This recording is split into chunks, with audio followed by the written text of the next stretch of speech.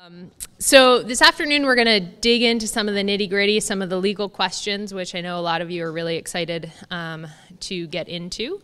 Um, I want to remind you again that our last session is going to be the session that we're really going to look to you to get some questions, remaining questions, and some issues that you'd like to see us look at moving forward. So please start to think about that um, as we're going through the afternoon because we will be asking you for that. Um, so Brian Goldman is going to be taking over as uh, our little MC for the afternoon um, and will take us through the afternoon panels. So I have the honor of introducing Brian. Um, he is a partner at Goldman Law Offices located in Providence. He's the chief legal counsel to the Rhode Island CR CRMC. Um, he is a graduate of Middlebury College and Boston University School of Law. He is also a retired lieutenant colonel in the United States Air Force and Rhode Island Air National Guard, where he was a C 130 pilot and judge advocate. He's a veteran of both Desert Shield and Desert Storm. He is a long term member of the Rhode Island Bar Association's Energy and Environmental Law Committee. During his tenure at CRMC Legal Counsel, he's repre represented CRMC in the United States Supreme Court of Palazzolo versus the state of Rhode Island, uh, which is a significant case in the law of takings and inverse condemnations, and I suspect a case that many of you, if not all of you, are familiar with. so um, please welcome Brian.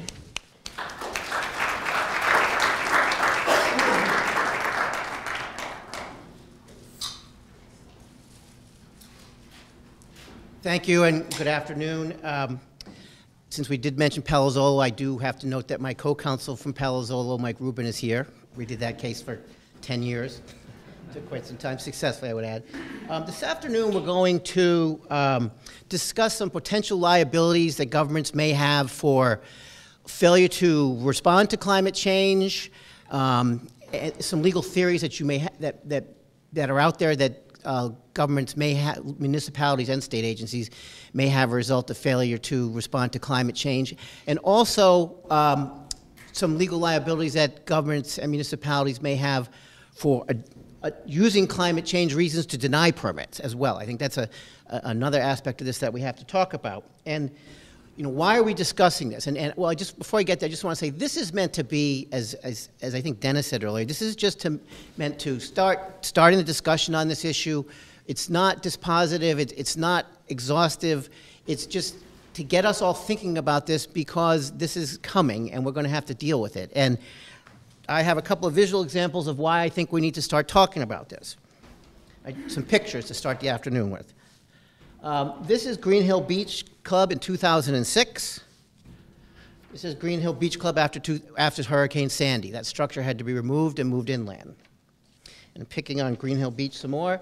This is um, Green Hill Beach, a house on Green Hill Beach in 2003. And I want you to take a note. Right over here, you can see that there's a walkway. This is that same place in 2005, after a storm, not a named storm, just a storm. You can see the erosion there. This is that structure after Hurricane Sandy. It's coming. Um, next slides, I thank you to Sea Grant, and these are, I guess this is used, called CanVis projections. And uh, Grover Fugate, who spoke earlier, he uses these in some presentations that he's done. But this is Water Place Park at high, circa mean high water uh, right about now. This is Water Place Park, three feet of sea level rise, which is around 2050. As you can see, it's underwater. These are for Joe Nicholson. Uh, this is Perrotti Park in Newport, circa about now with at mean high water. This is Perrotti Park with three feet of sea level rise. And finally, Joe, one more for you. I know you are enjoying me doing this. This is Ann Street Pier, uh, circa mean high water now, and Ann Street Pier three feet of sea level rise. So, huh? I know, we're, we're litigating the pier, I know, it's, we haven't got the extension yet. So that's why we're talking about this, because it's something that as planners and litigators, solicitors, government lawyers, we need to be thinking about what happens if we allow people to do these things? Are we going to be liable for letting them do that? And we also need to be thinking about what happens if we use these sea level rise and, and climate change to say no, to not let people build what are we going to be facing as well. Our first speaker this afternoon uh, is Jenny Klein. Uh, Jenny Klein is a litigating associate, litigation associate at Kramer Levin and Naftal- Naftalis and Frankel. She graduated from Harvard Law School and earned a master's degree in public health from Harvard School of Public Health. Before joining Kramer Levin, she served as a law clerk for the Honorable Dora Irizarry and for the Honorable Judge Cheryl Pollak, both of the U.S. District Court for the Eastern District of New York. Most recently, she was the Associate Director and Legal Fellow for the Sabin Center for Climate Change Law, where she led a campaign to encourage consideration of climate impacts under various laws. Please welcome Jenny.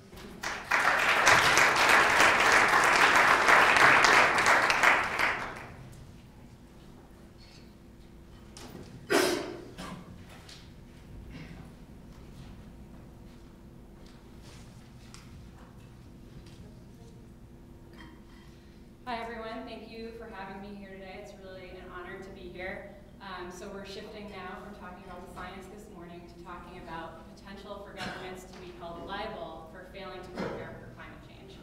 Um, so as, as you heard in the bio, I am a litigation associate at a firm in New York, but the research that was done um, that serves as the basis for this presentation was done while I was a fellow at the Sabin Center for Climate Change Law, which is an independent research center at Columbia Law School. Um, the research was done under the supervision and guidance of Michael Gerrard and Michael Burger, who some of you may know from his time as a professor here at Roger Williams. So this research was largely inspired by this man and people like him. uh, this is the governor of Florida, Rick Scott. So um, Governor Scott lives in a state where sea level rise is a very big issue. Florida is very much at a low elevation. Um, that map, which is from Climate Central, shows four feet of sea level rise. Um, we talked about this last morning that you know sea level rise doesn't show the whole picture, right? There's also storm surge, there's also erosion, there's also storms, and even without all that, Florida is having major issues, right? It's already having major issues. But despite that situation, Governor Scott told people in his government, don't talk about climate change. Don't even use the words global warming. Um, and I spoke to someone in, who had worked for DEP in Florida, and she said she was threatened with being fired after she complained about this. Um, it was made clear to her that this is what Governor Scott wanted. Not only could they not use the words climate change, they couldn't talk about the substance of climate change. It wasn't just use another word, it was don't talk about it. Uh, Governor Scott is not the only person in this country to do things like that. Uh, Governor Scott Walker of Wisconsin has also been accused of threatening people, basically bullying people in his state not to talk about climate change. Um, and in North Carolina, in 2012, the legislature passed a law banning use of sea level rise projections in developing coastal policies. And it was framed as a temporary ban. They said, well, you know, we'll do a study, and in two or three years, we'll let people use the data that we come up with. But it really raises questions, you know, what was wrong with starting to think about it at that time? Why not use the information you have now and then also continue to improve upon it? So this is an issue all over. So we really uh, wanted to think about what role does litigation play in trying to push people in the right direction? Um, to what extent can state officials or city officials be held liable for really just turning a blind eye to climate change and pretending like it's not happening. So we identified three potential claims. As uh, Brian mentioned, this is not exhaustive. There could be other claims. I'd love to hear if people have other ideas. Um, but these were ones that came to mind as having a lot of potential. So first, negligence. So uh, lawyers have tried to bring negligence claims against cities for failing to prepare for climate change. Uh, the most salient example was uh, started at a 2013 huge rainstorm in Chicago that caused a lot of problems in the area. Um, some suburbs had to be evacuated. There were sinkholes that were swallowing cars. People were told don't use your water because it's going to make the flooding worse. Um, and so after this, uh, after this storm, insurance companies sued Chicago and about 100 of the surrounding cities, county and elsewhere, um, for negligence. And the claim was that they did not do a good enough job of preventing this flooding, both by not maintaining their sewer systems well enough, not adding sandbags, all sorts of things like that. Uh, these cases were withdrawn. They were not adjudicated on the merits. But we really wanted to think, you know, how might they have played out had they really been pursued? So the first big hurdle in bringing a negligence case against a city and or a state is sovereign immunity. so states have sovereign immunity just by virtue of their sovereignty. Um, and that sovereignty, that immunity is codified by the 11th Amendment. So the default position is basically you can't sue a state for anything, right? But many states consent to be sued. And Rhode Island has a state tort claims act, the federal government has a federal tort claims act. Um, and the Rhode Island uh, State Tort Claims Act is actually written in a very, in very broad language. I think you're going to hear more specific stuff about Rhode Island later, but I'm just going to touch upon some things related to the state. So it says, Rhode Island and any political subdivision thereof, including all cities and towns, shall be liable in all actions of tort in the same manner as a private individual or corporation. So basically the state's saying, you're just like anybody else for the purpose of a tort claim no sovereign immunity. But there are lots of carve-outs and exceptions. So there's monetary limitations, there's a statute of limitations, I think it's three years, um, and one significant one is the public duty doctrine. So that basically says when the government's doing something that only governments do, then you still will have immunity. So as I said, many states have carved out some exceptions to immunity. A really common one is the dangerous conditions exception. So for example, Pennsylvania says that local entities are liable for the care, custody, or control of real property in the possession of the local agency. Colorado similarly says sovereign immunity is waived for injuries resulting from a dangerous condition of any public property. And Michigan is a little more specific. It says government agencies are liable for injury resulting from dangerous conditions of a public building if the agency had knowledge of the defect and failed to remedy the condition or take reasonably necessary action to protect the public against the condition. So these are just examples, but I want to show that the dangerous conditions exception is really common. It's something that comes up a lot. In Rhode Island, you have the egregious conduct exception um, to the public duty doctrine.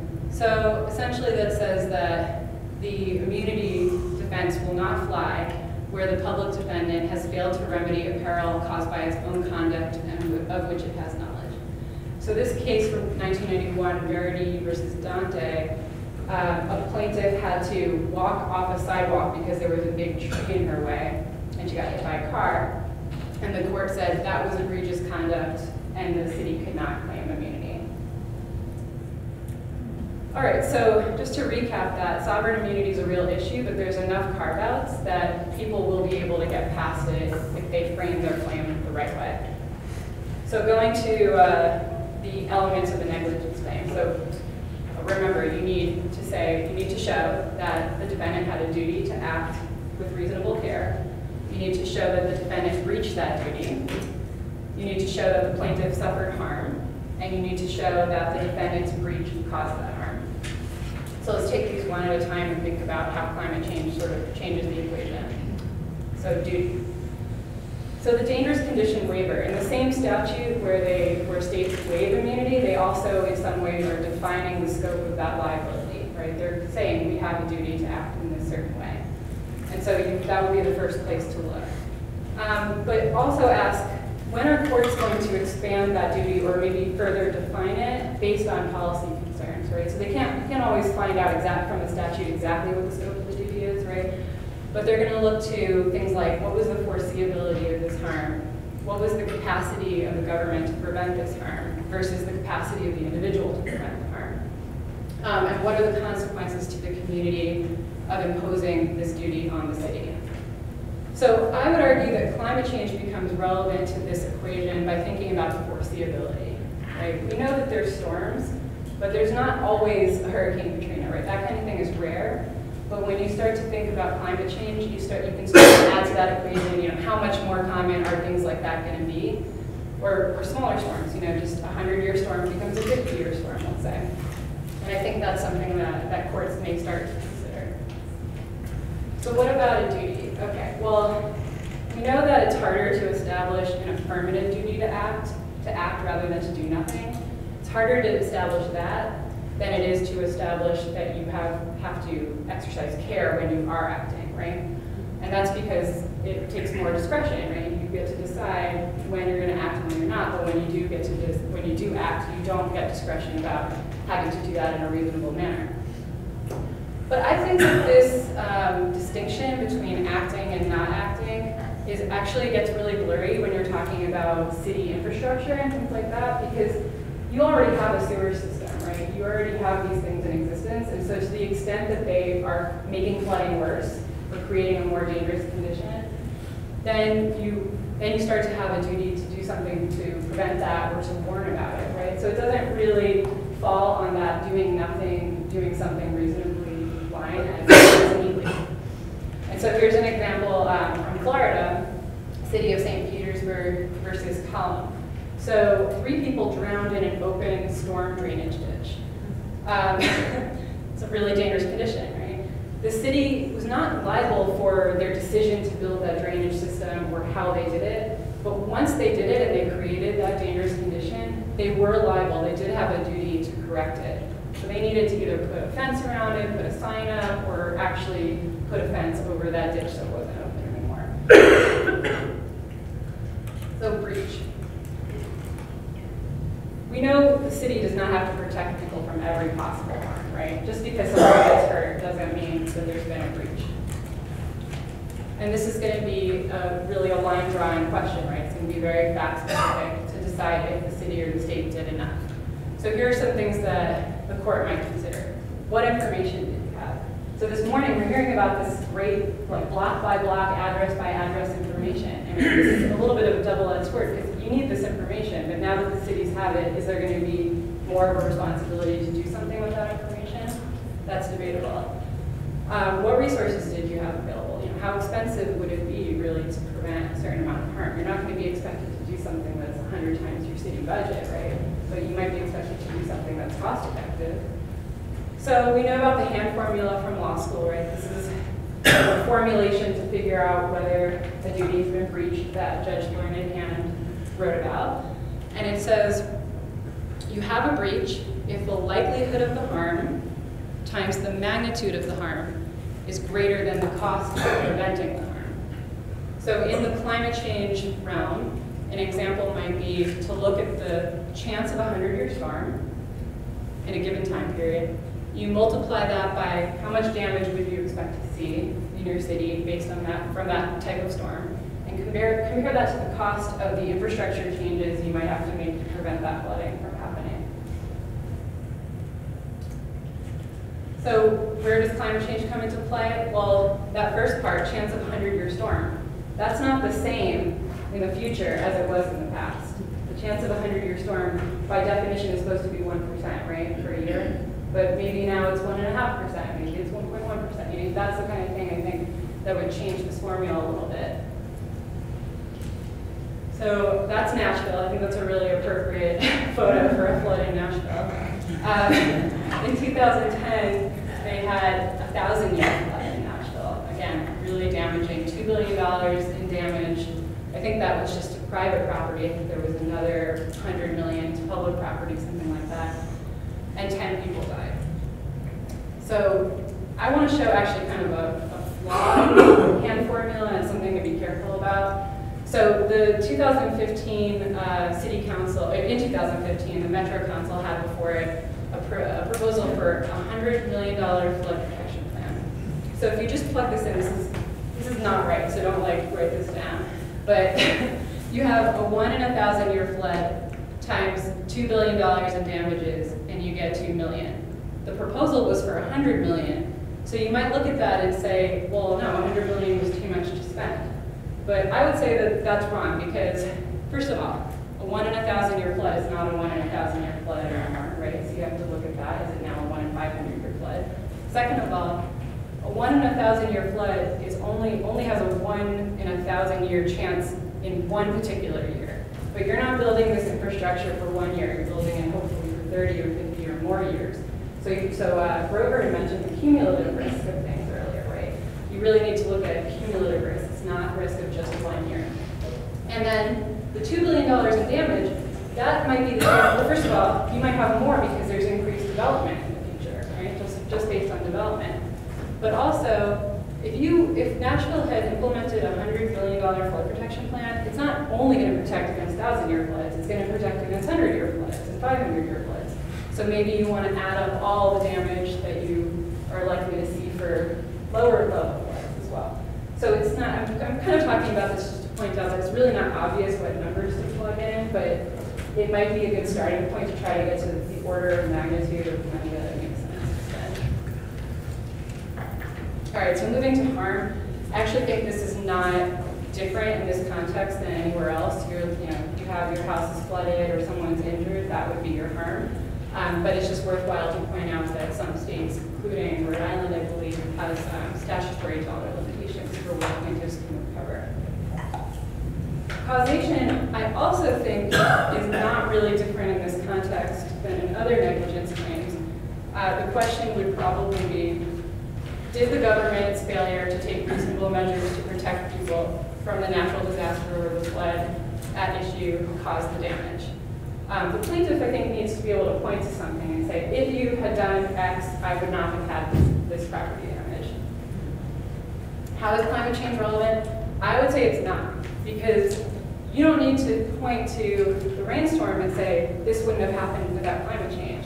climate change really comes into, into play in determining how foreseeable was that rainstorm. So earlier, the stuff we talked about earlier, and also determining um, whether the city has committed a breach. But I don't think it comes into play in the causation prong.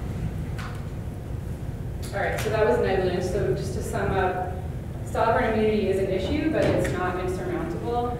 And um, the uh, analysis of the prongs is really similar to traditional negligence analysis. It's really kind of measures kind of situation, actually. It doesn't require any really weird novel theories, as far as I can tell. So fraud. So this is more like the situation we talked about at the beginning, where you have a state official saying, you know, I don't want to hear about it, or this is not a problem, actually making these types of statements or omissions that kind of prevents people from having the information they need to act upon and, and decrease their risk. So in 2010, uh, Cyclone Xynthia caused many fatalities and over a billion dollars of damages in a small coastal town in France. Those are people in scuba gear, scuba gear actually trying to um, recover property and help out after the fact. So it was a really intense storm. Uh, local officials were actually were actively encouraging development in this high-risk area. It was called the Deadly Bowl in French. Um, so that just gives you an idea of how dangerous it was there. Um, they failed to do anything about it. They failed to warn people about it. They failed to have any policies that would discourage development there. In fact, it was the opposite. As I said, they were actively encouraging development. Court sentenced the mayor to four years in jail for this. I don't know if this would happen in the United States, but this is this was an egregious situation. The court found that the mayor totally knew about this risk and he deliberately concealed it. Right? And people died. I think it was like 50 people or something like that. It was a really severe issue. So let's think about it in the United States. Sovereign immunity.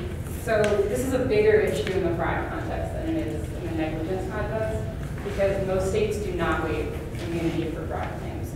So just one example, in California, a public entity is not liable for an injury caused by misrepresentation by an employee of the public entity, whether or not such misrepresentation be negligent or intentional. That's pretty common. There's explicit uh, retention of immunity for those situations.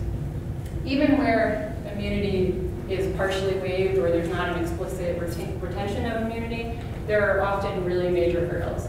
So in Minnesota, you can only bring a, a, negligent misrepresentation claim against an official if the official is the exclusive source of that information. Because I guess the logic is if you could have gotten it somewhere else, you can't really tie your lack of knowledge about that information to the misstatement by the official. So it's really hard to get past that immunity, and I never found a case in my research that successfully sued a local government for fraud. So this is a this is a really huge hurdle. But let's say you could, let's just as a thought exercise, think about the elements of fraud.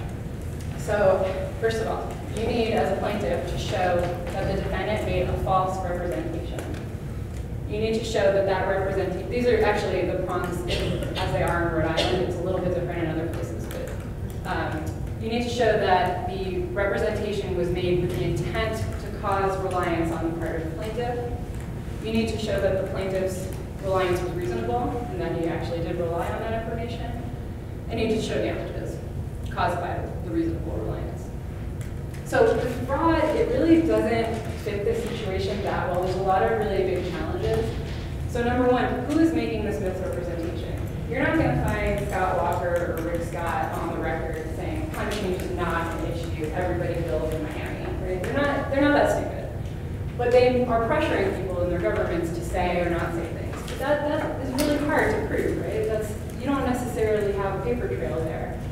Um, there are some states that allow you to establish fraud on kind of an agent master theory. So if the governor explicitly told someone who worked for him, go out and say X, you could potentially get the governor by that. But again, I mean, I think this is a really big challenge. Um, an even bigger challenge might be proving that the misrepresentation was made knowingly. Because we're talking about things that are going to happen in the future. We have great scientific data on this, but it's still predictions in the future. So how do you that someone knew or really subjectively believed in these projections? You know, they're going to say, no, I saw contradictory projections. If there wasn't something specific to my region, you know, they're going to say all sorts of things. So a question might become, you know, was there enough uncertainty in the projections, in the range, stuff like that, to give these people uh, some plausible cover? So assuming you can't prove they actually knew it subjectively, knew that what they were saying was false, could you try to get them on willful blindness? So willful blindness, this doctrine says that a defendant cannot escape liability by deliberately shielding himself from clear evidence of critical facts that are strongly suggested by the circumstances. So that's from a 2011 Supreme Court case. To show deliberate, I'm sorry, to show willful blindness, the plaintiff needs to show that the defendant, number one, subjectively believed there was a high probability that the fact existed. That's kind of weird. You don't have to show that they subjectively believed in the fact. You have to show they subjectively believe there's a high probability of the fact. So I don't know how that plays out. Maybe that's like people who look at a study that says 95% certainty and they're like, well, there's the 5%, you know, and that's what I believe. I don't know. Um, but the second part, the requirement that they take deliberate action to avoid learning of that fact, I think Rick Scott saying don't talk about climate change, that seems like a perfect example of that. That is, you know, hear no evil, see no evil, speak no evil. I don't want to know, even if it is happening. Uh, with respect to the rest of the elements, intent, I mean, there's political motivations for things. There could be, right? In, uh, in France, this mayor was trying to get residential development, probably for economic reasons, right? In North Carolina, the sponsor of the bill that I mentioned from 2012, her biggest campaign contributors are development interests. Is that enough to prove intent? I don't know, but it could be, depending on what kind of smoking gun email he's buying. Um, reliance. I think that's plausible. A plaintiff might be able to say it was reasonable to rely on government because governments have a lot of information especially with respect to infrastructure. Um, and damages, again, that's nothing out of the ordinary. That's just showing my house was flooded. All right, so to recap, sovereign immunity is a really big issue with fraud, and then the elements are kind of weird in this context. I think there's a lot of challenges with proof, especially proving intent, um, and knowledge that the misrepresentation was actually. So moving on to takings, you're, you're going to hear more about takings later, um, but I'm going to touch upon kind of a novel use of the takings doctrine in this context that's sort of emerging. Sovereign immunity is really not a problem. Most states do not have immunity for takings claims in their own courts. That's one really big strength of this type of claim for plaintiffs. The federal takings clause says that private property shall not be taken for private, sorry, that private property shall not be taken for public use without just compensation. Rhode Island has a almost exactly identical takings clause, as do many other states. Um, even without this, the 14th Amendment makes the federal takings clause effective on the states. Um, some states are even more protective. So in Arizona, property can't be taken or damaged without just compensation. That, that comes up in a few states as well. So here's an example um, that was in federal court in the aftermath of Hurricane Katrina. So the Army Corps of Engineers, starting in the 1950s, built a canal from New Orleans out to the Gulf called Mr. Go, the Mississippi River Gulf Outlet. And it was intended to build a sh uh, shorter shipping route between those two. So it was designed, that, that chart on the right shows it, how it was designed in the gray box. It was designed to be about 500, uh, 500 meters wide. But over the years, erosion caused it to be about 1,500 meters wide. So it got much, much bigger. As a result of that, obviously there's way more volume of water in that canal. Also, there's more surface area of water for the wind to act on, so that fetch created bigger waves. And so this canal was really actually making flooding a lot worse than it would have been had the Army Corps never built the canal in the first place. Um, hundreds of people brought lawsuits against the federal government after Hurricane Katrina for this design flaw. Um, and many of them brought a tort claim, but that failed because the federal government was found to be immune under an exception to the federal government's Federal Tort Claims Act.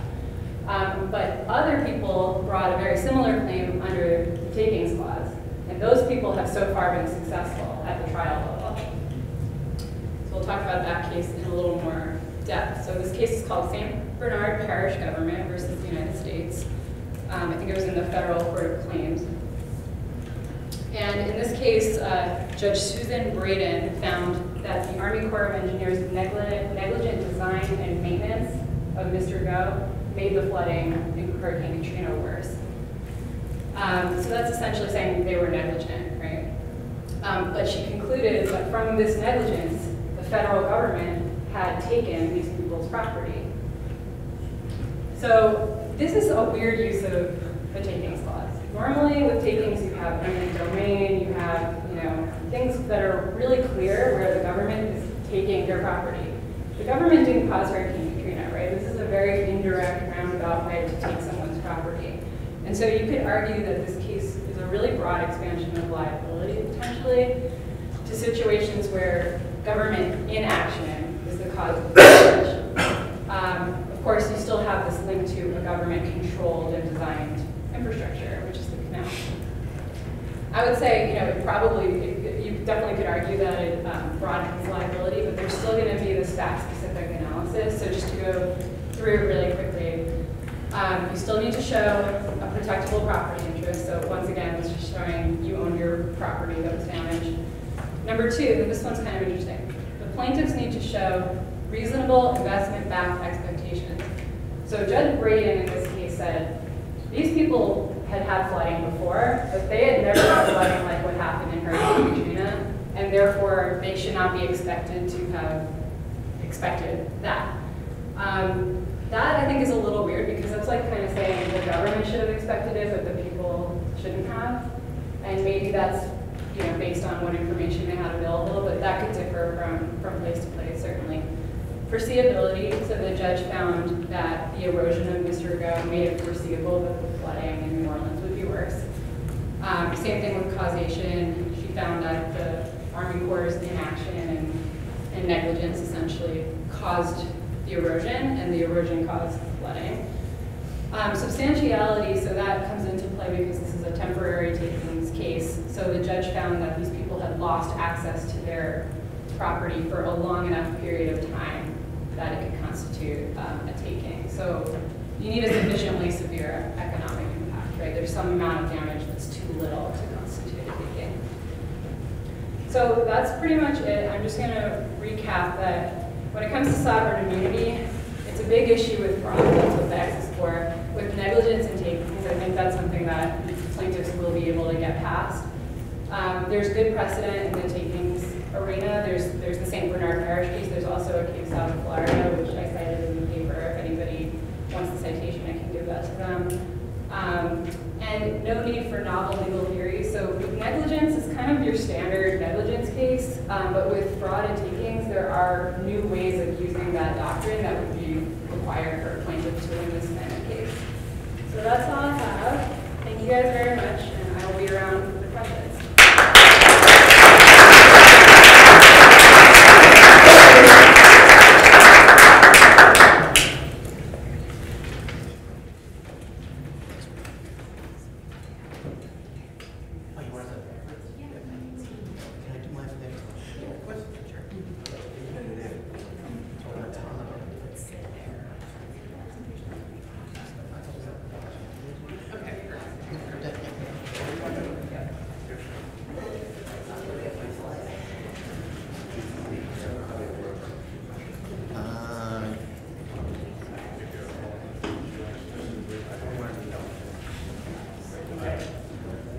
with you in one second.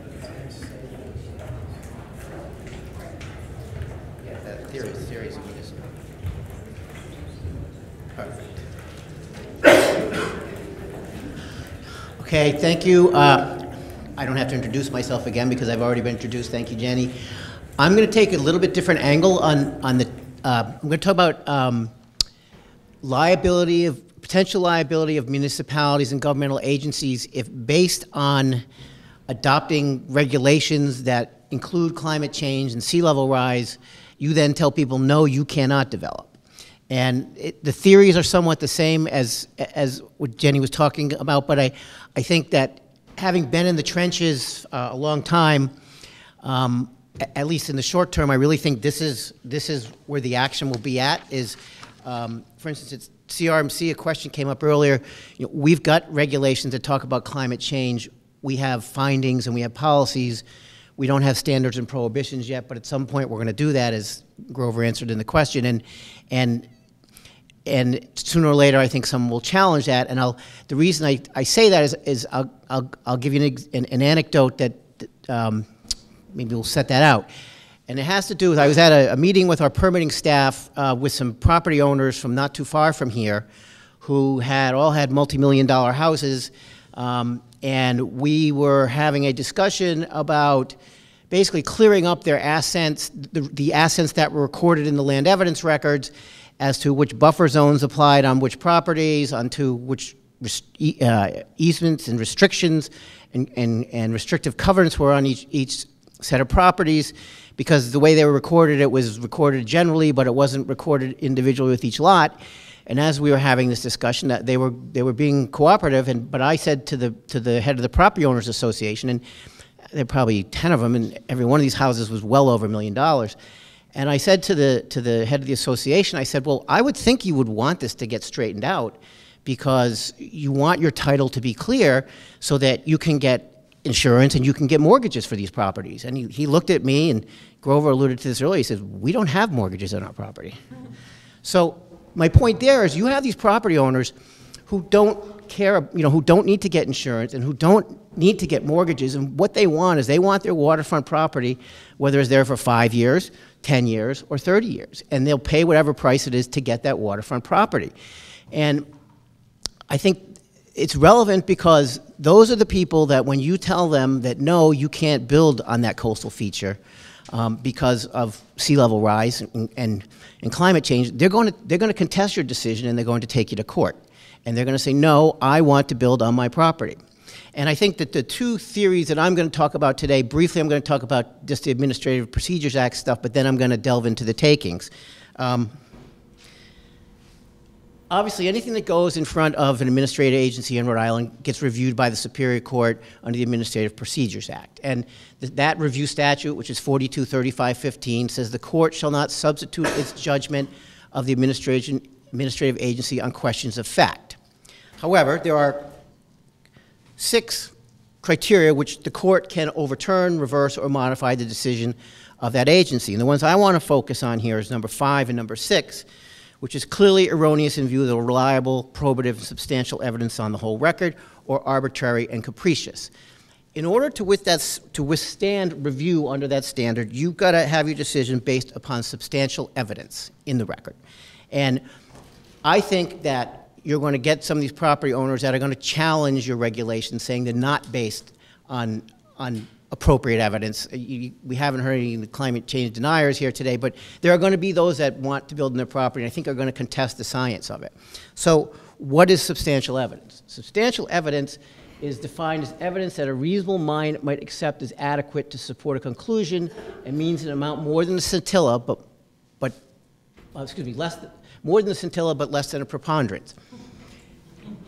That is the legal standard. And, and the reason that I say this, and, and to lawyers, actually, it makes a lot of sense, but to non-lawyers, it probably doesn't.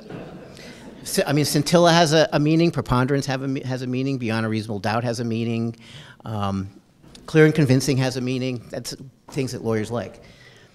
I raise these for two points, and I, and I don't want to spend a lot of time on the APA, but the first is if you're going to adopt, and you're being encouraged here to adopt and think about regulations and ordinances um, that take into effect climate change and, and take into effect sea level rise and, and that are going to take some properties out of play for building, you need to document within those regulations the science you're relying on so that it will meet the standard uh, of substantial evidence. Because what will happen, and, and we see it at CRMC under our existing regulations, is people that have these properties and that have the means to hire experts, and you can find experts to come in and contest anything um, for the right price, I would think. And they're going to come in and contest the science. And if you don't have in your regulations it documented why you adopted these regulations and what the science is behind it, I think you risk losing.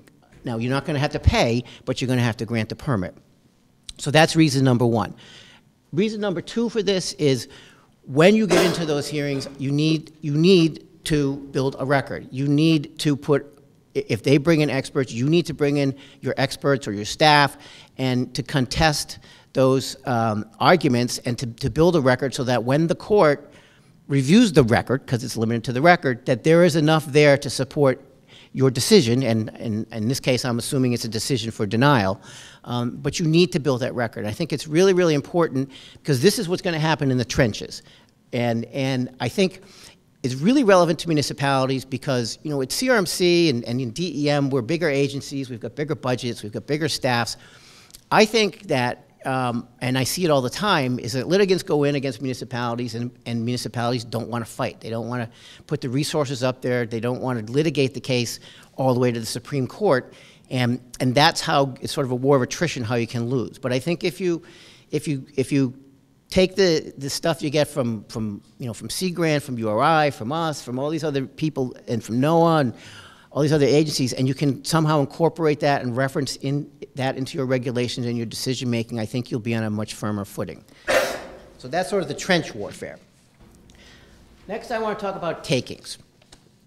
And obviously, if you deny a permit and someone's not going to be able to build on their property, they have to bring a separate action, not within the administrative appeal, but in separate action um, for a takings. Now, the, the, takings clause, as Jenny mentioned, has its uh, origins in the Fifth Amendment to the United States Constitution, which is, nor shall private property be taken for public use without just compensation. That is the so-called takings clause. As you heard, it's applicable to the states with the 14th Amendment, and in Rhode Island, Article 1, Section 16 of our state constitution codifies that takings claim. So you can bring, uh, the, the, the federal clause is self-executing. So if your state doesn't have a takings clause provision, you nevertheless can bring it under the, under the United States Constitution, and then you get into a fight whether you're in state court or federal court, and whether federal courts will take it, or whether you know, your state court recognizes the concept of inverse condemnation. The nuances about takings cases, there's a lot of procedural hurdles to get you to trial on the merits. And a lot of these cases get bumped out on procedural reasons. I'm not going to get into those today, but the vast majority taking courses, taking cases never get a decision on the merits. It's ripeness, uh, exhaustion of administrative remedies, wrong court, right court. So there's a lot of that that goes on in takings cases.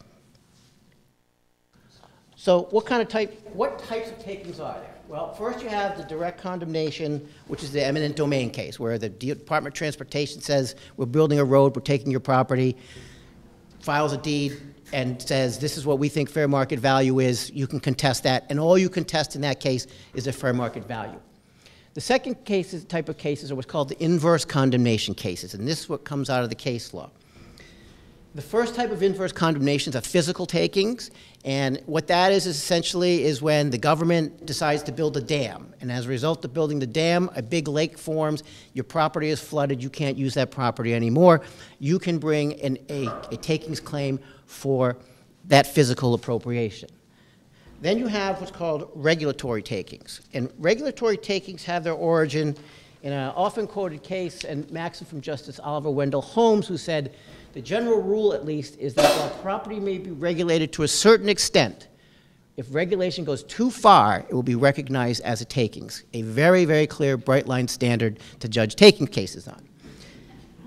But this is what started it all and this is back in 1922, and in almost every takings case from the U.S. Supreme Court, it starts with this proposition.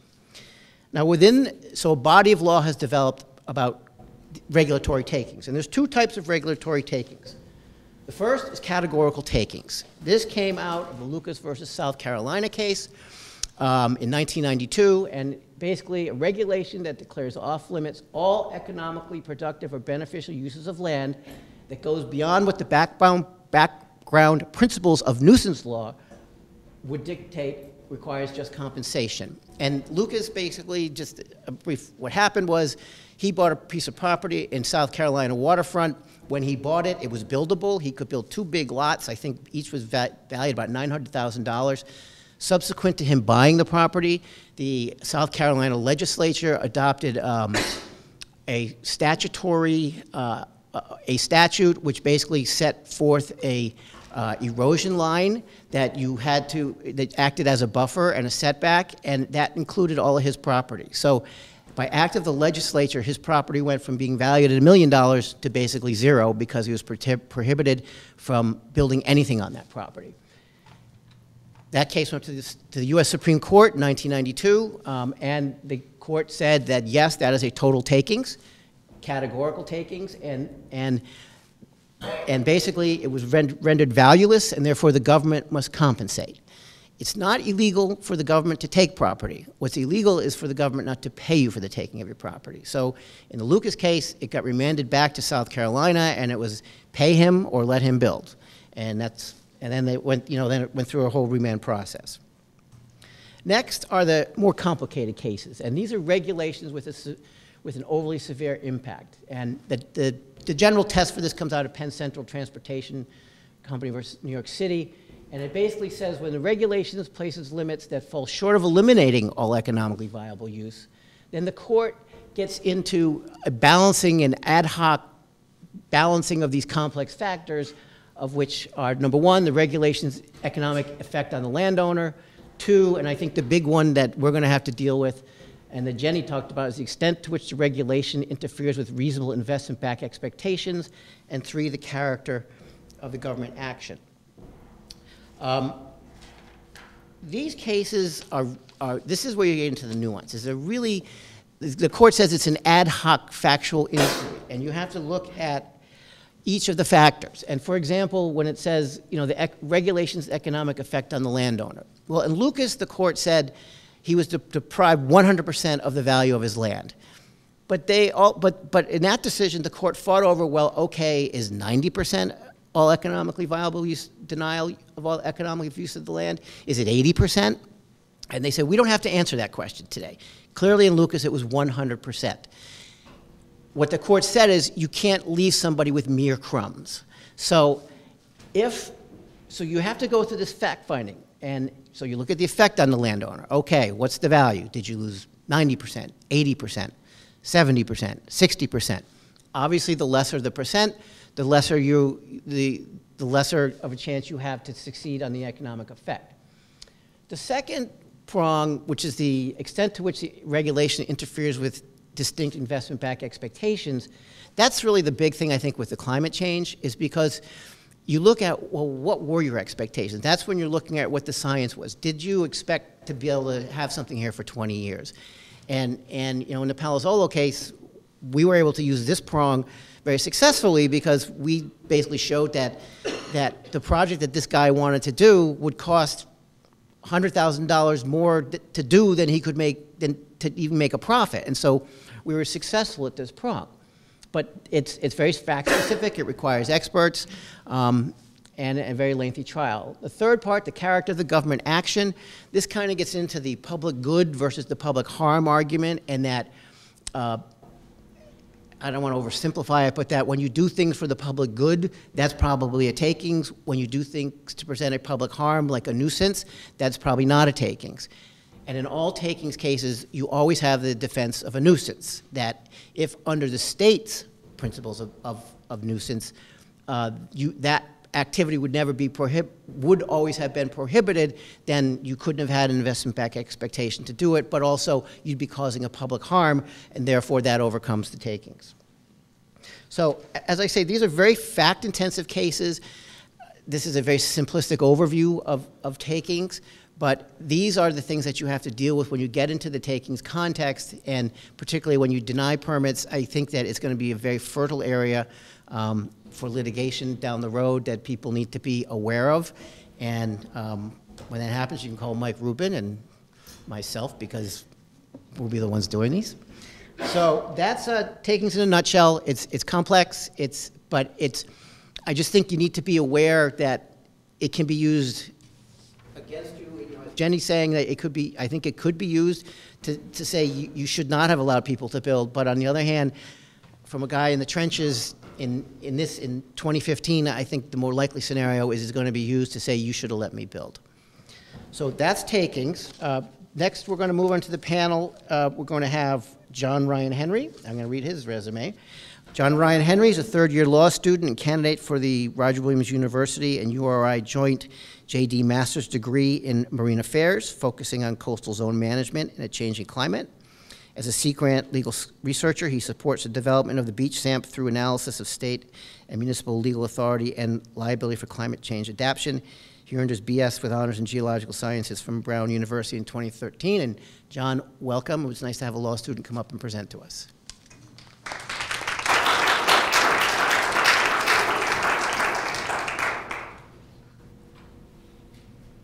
Do you know how to get to your presentation? I think. Okay. We'll see.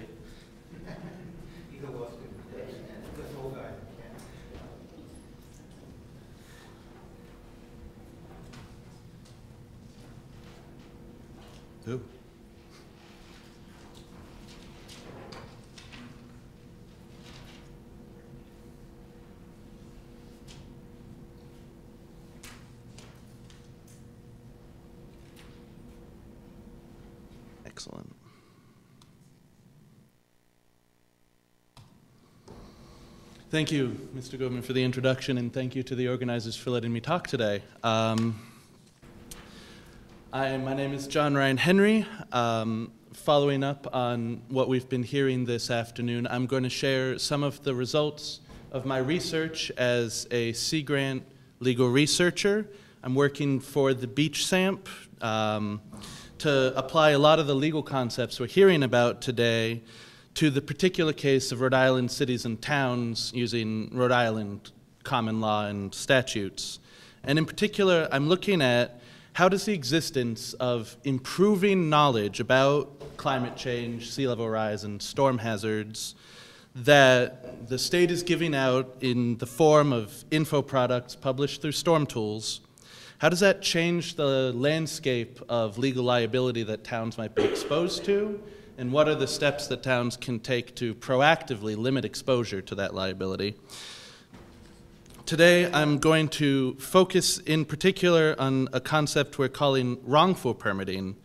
You just heard about the liability exposure when you say, no, you cannot develop. I'm looking at the liability exposure when you say, yes, you can develop.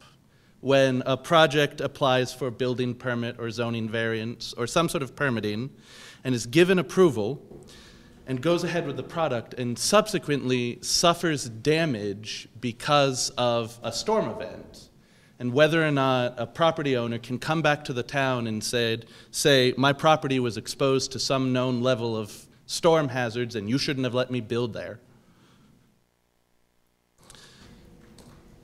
So I looked at the potential of this liability as a potential tort claim, a claim in negligence, um, where that would take the typical form where the plaintiff has to prove duty, negligence in fulfilling that duty, legal cause, and damages.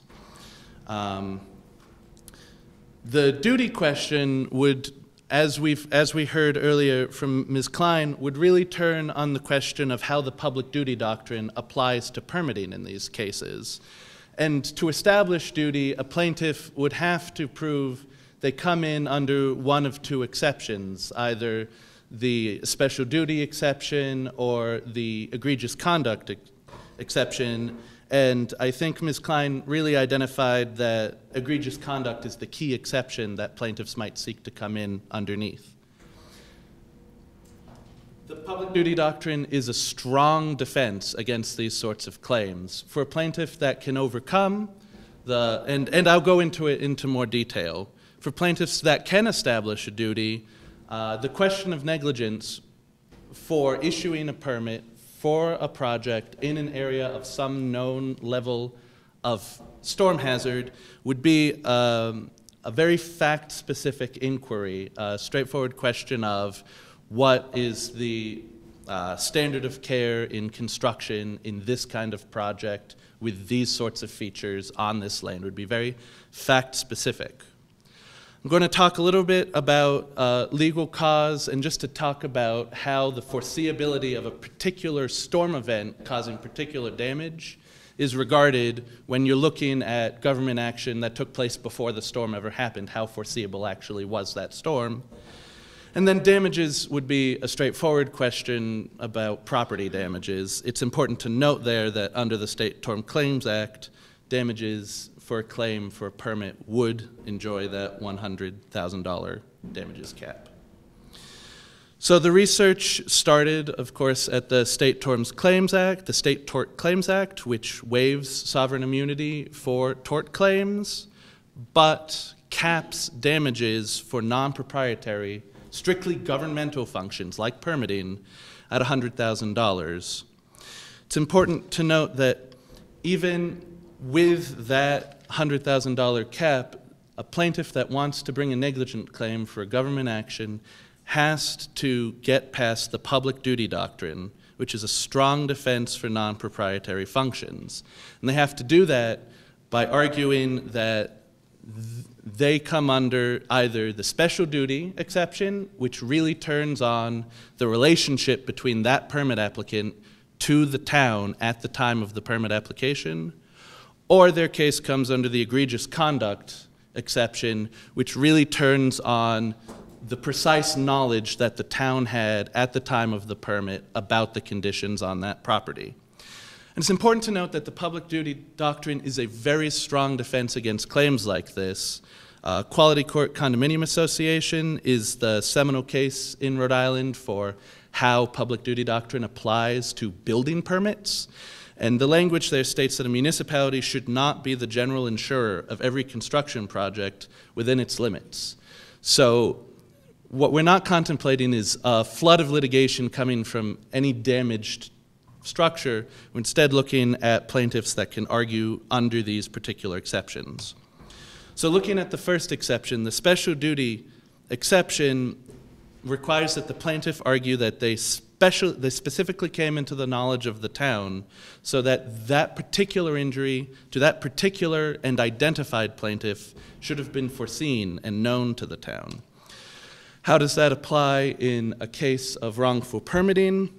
The question would be Did the permitting process involve continued contact with the permit applicant during the application process above and beyond what's typical for that kind of permit? Um, in quality court condominiums, the Supreme Court identified an instance where a building inspector had conduct, had contact with an applicant that was sufficient to establish a special duty. In that case, that was a case in Pawtucket where the building inspector went to a condominium, identified specific violations that the residents complained about, looked at the violations, set forth a plan on how the condominium could fix those, made repeat visits to see if those corrections were made, and then eventually issued a permit even though the violations never got recovered. So that was a really fairly extreme case of a building inspector being closely involved with a particular identified plaintiff with particular problems and nevertheless issuing a permit anyway cases that have come through the court where the relationship is something short of that, where the town can make an argument that this was one of the permits that we issue all the time, have yet to reach this level of a relationship.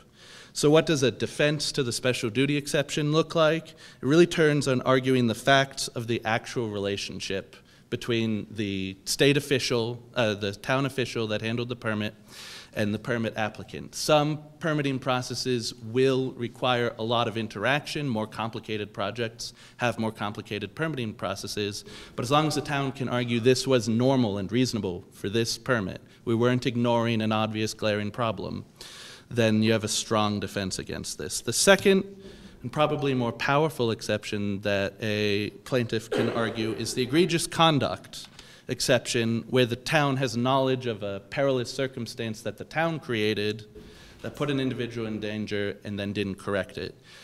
And the three elements to establishing the egregious conduct exception and forming a duty is that the town created a situation of extreme peril, that the town had actual or constructive knowledge of the peril, and that the town had a reasonable amount of time to correct that but didn't. What does that look like in a wrongful permitting case? Um, in building permit cases to date, the egregious conduct analysis has really turned on that second element of the actual or constructive knowledge that the town had about that property. In the case Haworth versus Lannon, which was in War Warren, um,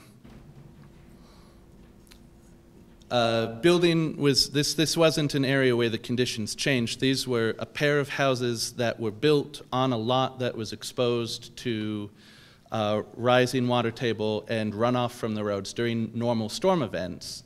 And the developer there actually gave the building, inspe building inspectors plans that were adequate and would have handled that water but the buildings were subsequently built uh, below specs, not according to those plans, and they had basement flooding.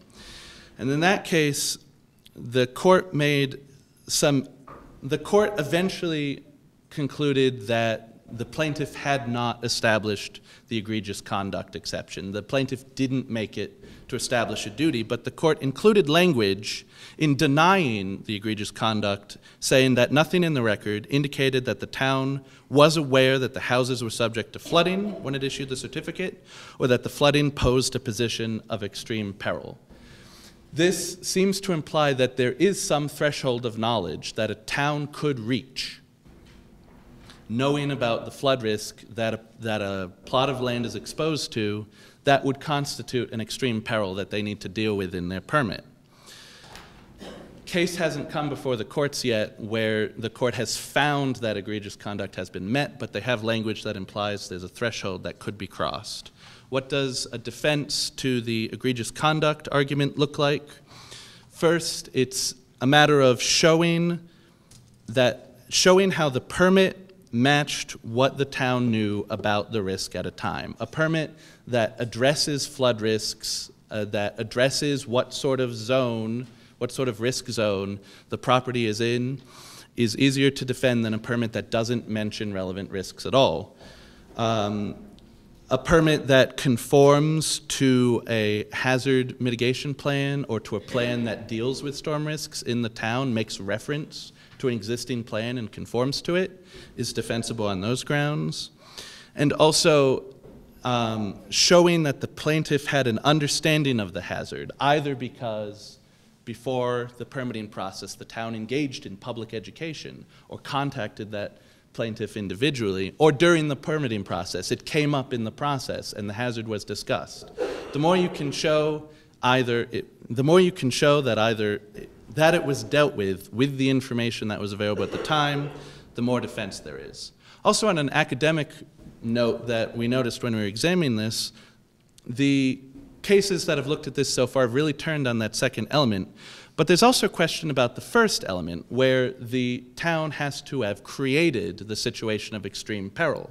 And a plaintiff here has to argue that the issuance of the permit, rather than building on that land, was the action that created that hazard. And it's possible that there is an argument to be made that it's not the town that created that hazard, especially when the hazard is attenuated. It's a storm event. It's not you allowed construction with shoddy materials or something, but an attenuated risk. So there's an academic question there, but so far it's turned on constructive knowledge.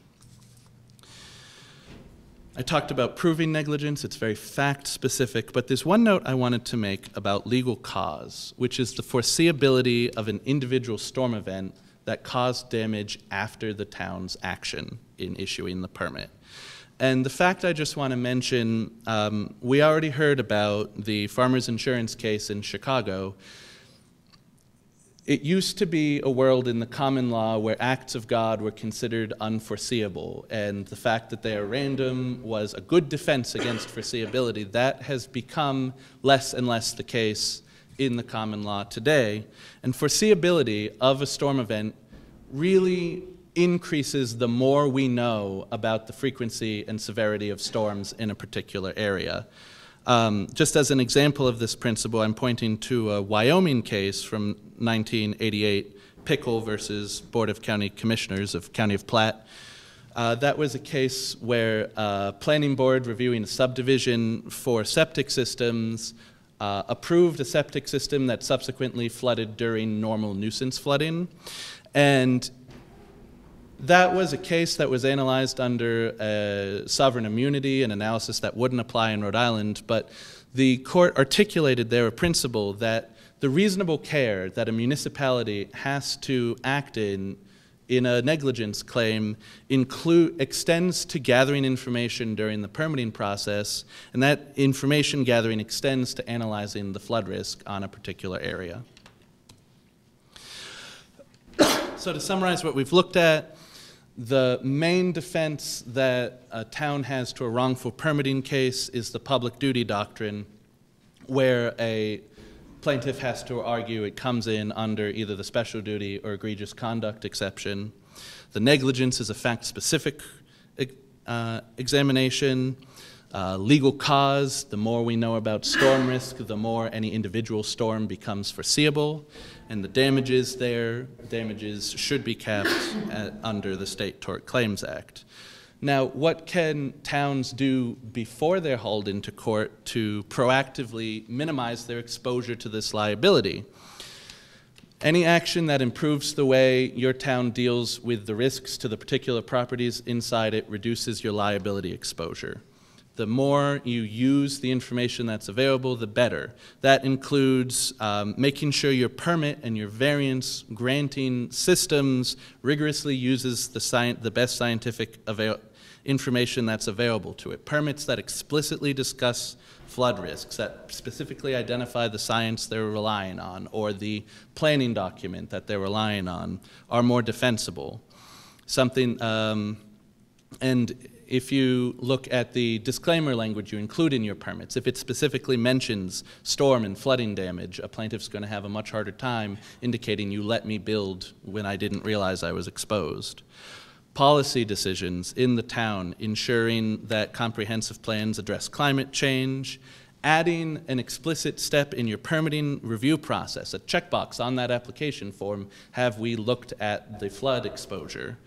And then also, we've heard before, uh, Mrs. Crean talked about incentives you can give to make your housing stock less exposed to these damages, things like defining the zoning height limit from base flood so that you aren't you don't have to seek a variance to get freeboard. Public education, teaching the public about storm tools and about other sources of information, and also potentially specific notice to property owners. If you are looking at the information available and you're identifying enclaves in your towns that are exposed to risks, reaching out to those homeowner, those property owners proactively can also avoid this. Thank you very much.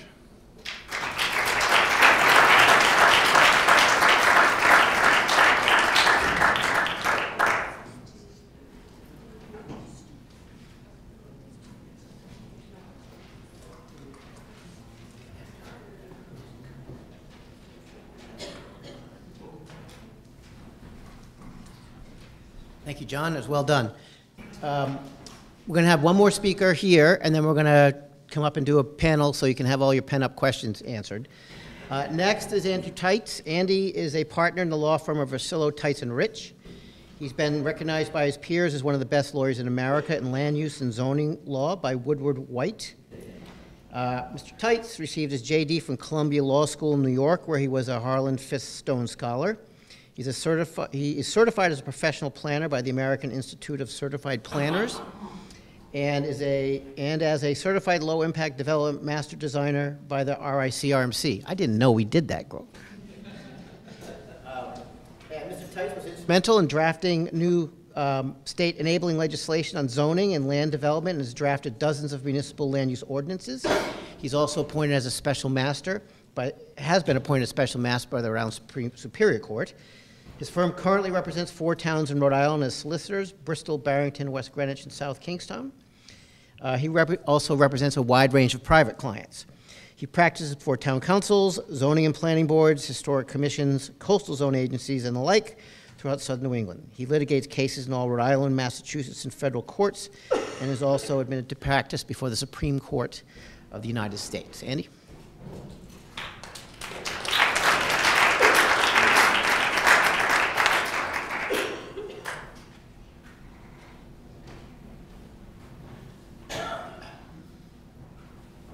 Thank you, Brian. Um, Yes, uh, in connection with the Metro Bay SAM plan, you require people who are applications in that area, the Upper Bay metropolitan area, to have that certification when that was first put in. And I decided it would be helpful for business if I got that certification myself. So, um, I don't want to mess this up too much here. Um, my my topic, my ending of this is kind of um, how I often feel being a solicitor representing municipalities that um, we're stuck in the middle with you. We've got everybody on both sides. And in fact, really, my, my title of my section is um, Damned If You Do, Damned If You Don't. Um, do we, we have our choice. Do we get sued now um, for takings if we re, uh, deny these permits that people are asking for? Um, and rezone their property as coastal hazard zones that don't allow development? Um, or do we get sued later for takings if we don't act after these properties are destroyed? Um, and I would add, there is a, an element that I'm going to come back to, which I think affects it, which we've been talking a lot about properties, but I think there is a public health safety issue as far as the people. Mentioning, you know, floods with 10 people dying with the river flood, um, the hundreds of people who died in 1938, uh, dozens in 1954, um, and maybe that's maybe that's a way around it that changes it instead of it's not just a property equation. Um, it's interesting in Rhode Island, um, the state is doing a lot. Um, the Rhode Island general laws provide a lot of the protection and the immunities, and I'm going to talk about the comprehensive planning process. Um, and then CRMC has done so much here with providing these tools. Um, but although CRMC has some permitting authority, particularly within 200 feet of the coastal feature, um, the vast majority, I think, of the responsibility is going to fall on the municipalities, um, both as where we have concurrent jurisdiction within that 200-foot area, um, and all the properties that happen to be 200 feet back from the coastal feature now, but of course the coastal feature is going to be 500 feet inland in 50 years from now. Um, so I think it's good. We, we should be looking at it. It's coming, it's coming this way. I may not be around to deal with it, but if we, if we start now, it's the old thing about moving the asteroid. If you start far away, it's a lot easier to start moving it. Uh, just give it a little shove a long distance away. Um, and also, too, the, the cost of it. If we start now um, controlling the rebuilding and, and further managing the development along the coast, um, it will cost less than it will in 50 years. Um, I look at this as, um, from what I've heard today, a lot of things, um, both good news and bad news. So let me give you the good news as I see it first if you're a municipal official. Um, I think, first of all, we're not going to get sued in Rhode Island for not planning for it. If nothing else, we're going to introduce all the materials from today and talk about it. The very fact that we're here is part of it. And for all the solicitors, for, for the towns that you're here, we're, we're all protected. The ones that didn't show up, the heck with them. But, protected to start with. Um, in fact, it's even codified. Um, Rhode Island General Law 4522.2-6B10, which is the required elements from a comprehensive plan. And I just want to read this verbatim. One of the required elements is natural hazards. The plan must include an identification of areas that could be of, could be, excuse me, the plan must include an identification of areas that could be vulnerable to the effects of sea level rise, flooding, storm damage, drought, or other natural hazards. Goals, policies, and implementation techniques must be identified that would help to avoid or minimize the effects that natural hazards pose to lives, infrastructure, and property. So I don't know how more opposite we can get from Florida than that. We've got it codified in our statutes requiring all 39 of our cities and towns to have an element in their comp plan that deals with sea level rise. Um, and to my knowledge, at least, most of the towns have been dealing with it. Um, those are elements um, that, as they have been going before the Division of Planning and comp plans have been updated on their five and 10 year updates, that's one of the things they're looking for. So the towns are doing it, everybody is, is updating their, uh, those elements of their comp plan. So I think those will be very strong defenses um, going forward, the fact that we have at least been planning for it. Um, because if we plan for it and we're wrong, it's still a little tragic, but it's not a liability.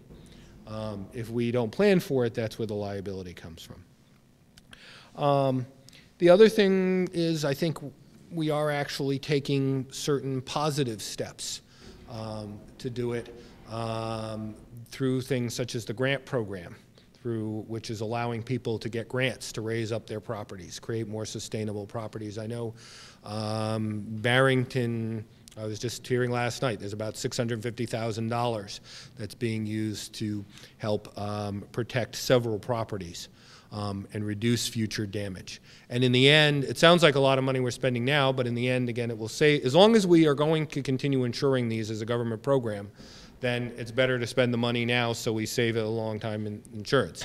Maybe the answer is we should stop insuring them completely, but that's a separate political question that doesn't seem to be on the table at the moment. So if we are insuring them, what can we do to at least insure them as cheaply as possible for the public when there is that future damage? What can we do now to make things better? Um, kind of like some of the um, the marine insurance company that provide boat insurance policies. Since this is Rhode Island and the ocean state, there's probably a lot of a lot of us a lot of us out there who have boats, and a lot of these companies now, if there's a hurricane warning, they'll pay to haul your boat first. They won't wait for the damage. They know it's cheaper to pay for the hauling of a lot of boats. Um, and risk that they are wasting the money than if the hurricane hits and they have the actual damage later.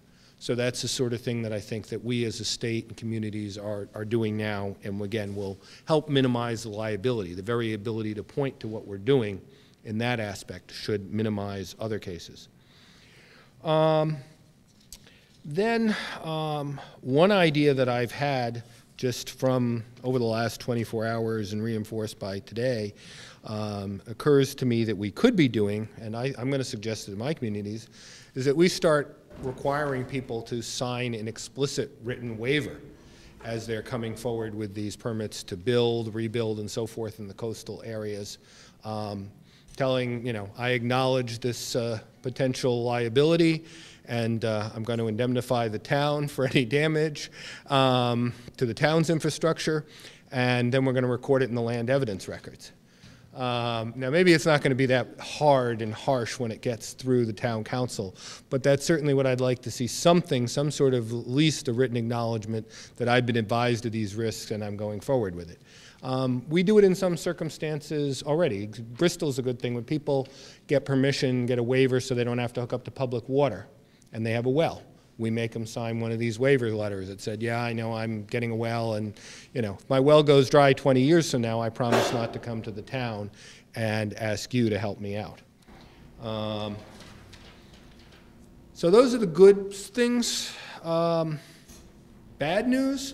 Um, unfortunately, there's a lot more on the page on the bad news side than the good news. Um, we have a very strong concept in our zoning law in general, and I think in Rhode Island in particular, on what we vernacularly call grandfathered rights, the rights of non-conforming properties to continue. And we've got 350 years of coastal development already there.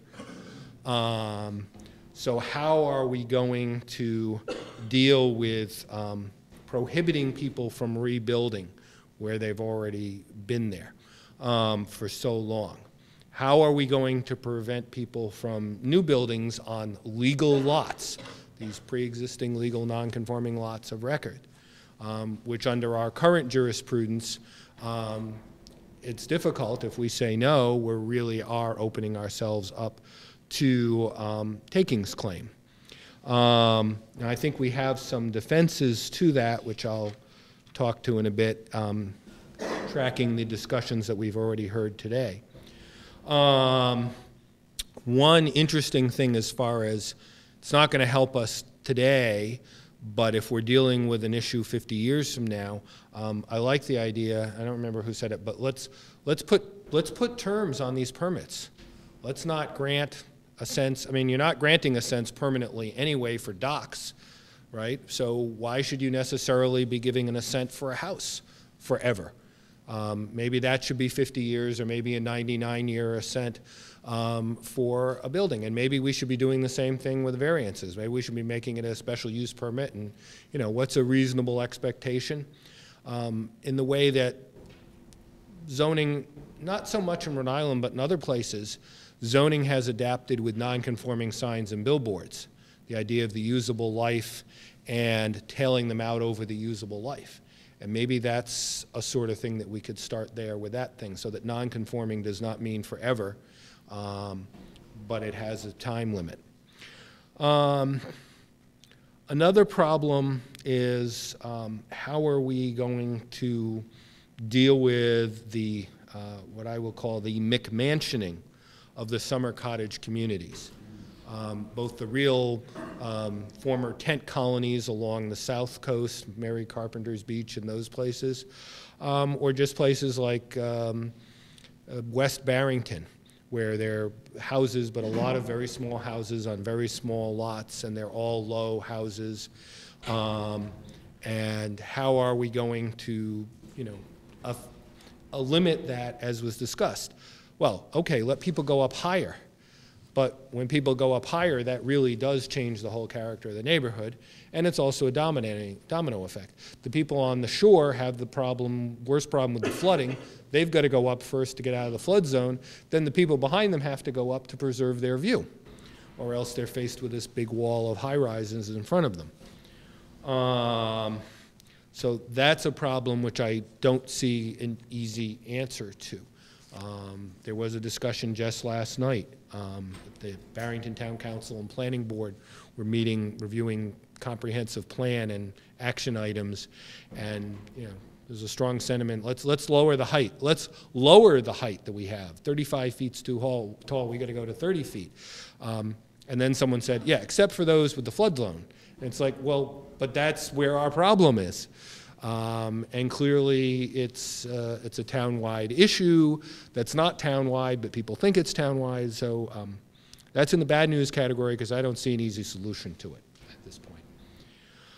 Um, another issue is the problem we have with our historic areas, our historic properties. Um, those that are specific historic districts, those that are not. Um, right here in Bristol, um, Thames Street, um, you know, we have a lot of businesses and properties right along, you know, barely a few feet above sea level.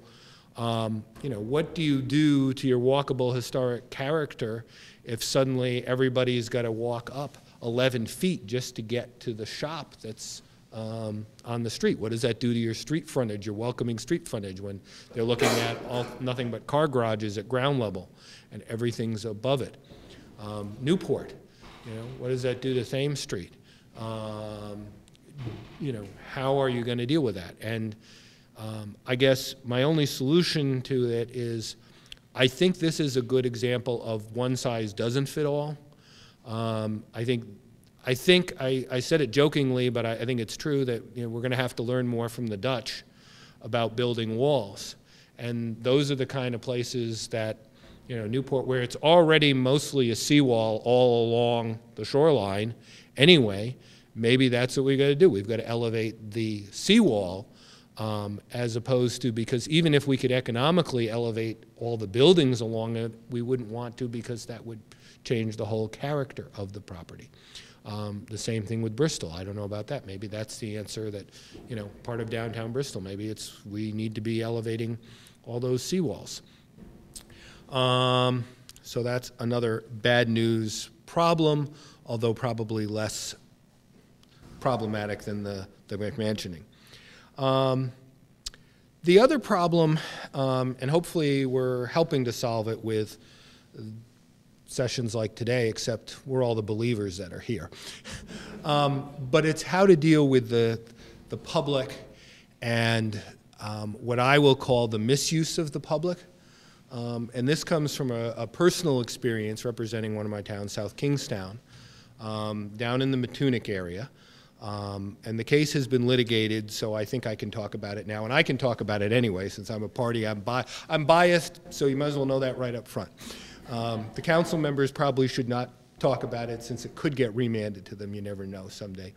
Um, but what we've got is a situation down there. We've got a community. We've got these various communities with these campground type communities like Carpenter's Beach, these little cottages. They don't have bathrooms. They have communable community bathrooms, but everybody's got their own little cottage there along the shore. Um, and then we also do have a lot of homes there. In this particular area um, of the road, um, this is the only road access to approximately 300 homes and a few businesses um, across this stretch of road, a couple hundred foot stretch of road. Um, it also contains within it an 8 inch water main, um, which serves a total of 1,765 homes.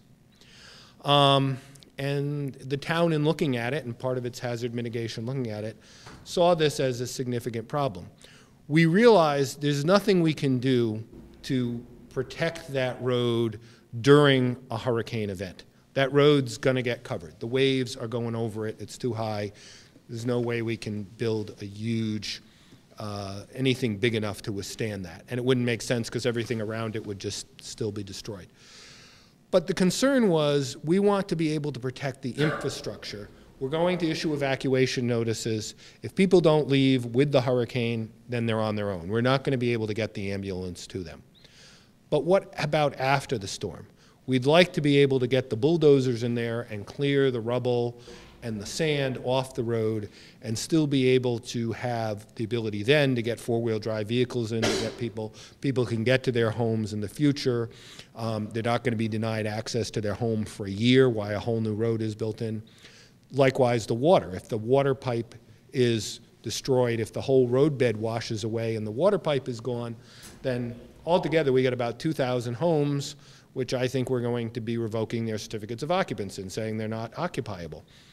Um, so there was a plan to put in a steel sheet pile wall behind, and I'm saying behind, I mean landward, of an existing concrete block wall that was crumbling.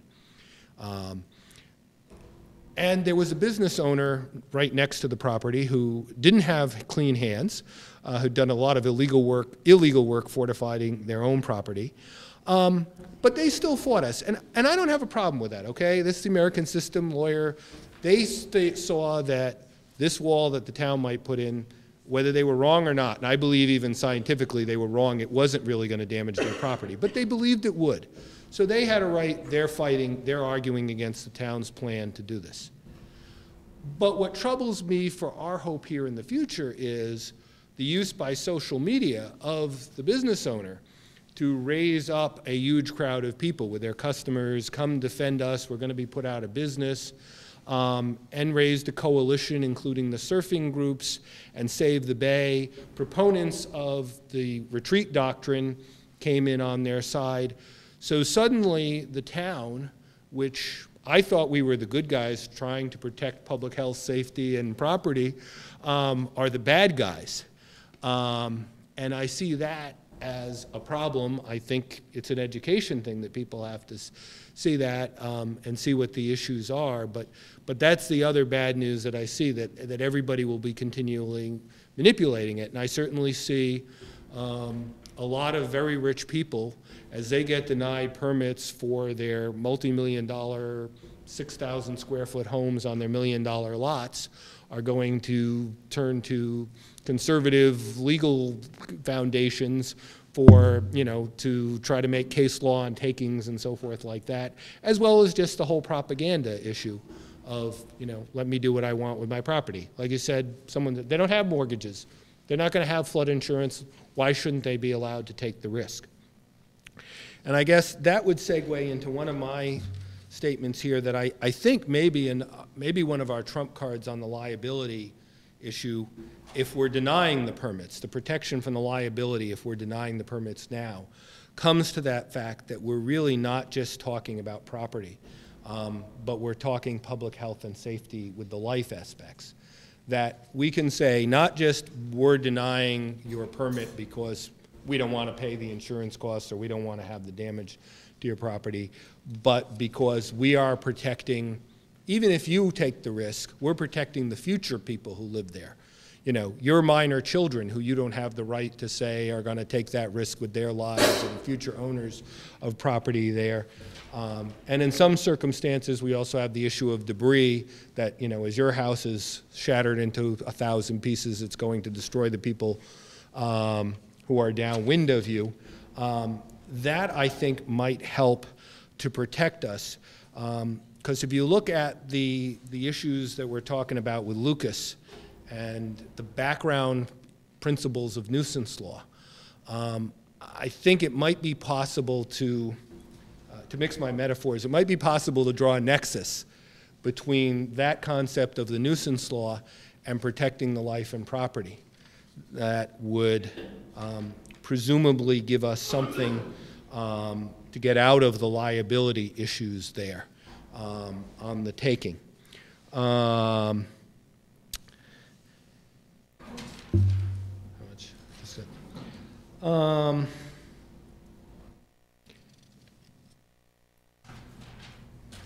The other point I would just come back to again about um, the question about the egregious conduct issue and creating the extreme peril is again, I think, um, I think John summed it up well. I think we need to get all that information out there. I think it's great that we have the information in here um, and make sure, as I came back to talking about that idea of, you know, the waiver of liability form, it should probably have the website for the tools right on the right on the waiver says I've been informed of this waiver of this website and that I can find out what the you know effect would be on my property um, and I accept that risk. So that's We'll have it posted on the comments. CRC website.